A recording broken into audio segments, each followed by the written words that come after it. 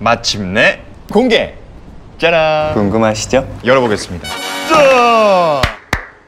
이게 바로 퀀텀! 장난 아니야. 너무 부드럽잖아. 이렇게 부드럽다니 반칙인데요? 그리고 고어텍스 방수 걱정은 할 필요가 없습니다. 또 이 보아를 돌려주면 발을 꼭 안아줘요. 거기에다가 충격을 순간 삭제하는 붐! 붐! 붐! 말이 필요 없습니다. 바로 나가볼까요?